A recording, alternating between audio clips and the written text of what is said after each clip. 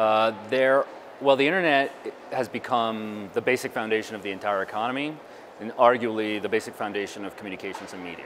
So it isn't simply the consumer-facing World Wide Web, but it's everything that underlies industrial production, supply chain management, as well as international dialogue, basically.